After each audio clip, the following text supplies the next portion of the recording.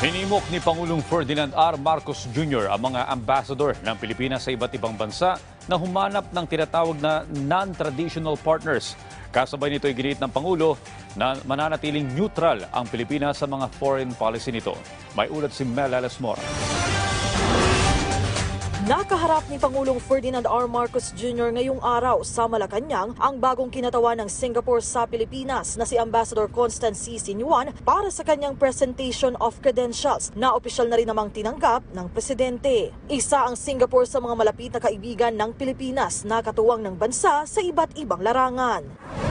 Bago ito, nakapulong naman ng presidente sa Malacanang kahapon ang mga bagong talagang ambassador ng Pilipinas sa iba't ibang bansa. Dito'y nanindigan si Pangulong Marcos na nananatiling neutral ang foreign policy ng bansa. Sabi ng presidente, walang pinapanigan ang Pilipinas mapa Amerika, China o Russia pa dahil tanging pambansang interes ang prioridad ng pamahalaan. Kasabay niyan, hinimok din ng Pangulo ang mga Filipino ambassador na humanap ng non-traditional partners para sa bansa. Kung may makikitaan niya silang magandang oportunidad na may kaugnayan sa agrikultura, enerhiya, infrastructure development at digitalization na pawang mga prioridad ngayon ng administrasyon, pag-aralan nila ito at maaari namang talakayin ng administrasyon kung ano ang kahihinatnan. Melelas Moras para sa Bayan.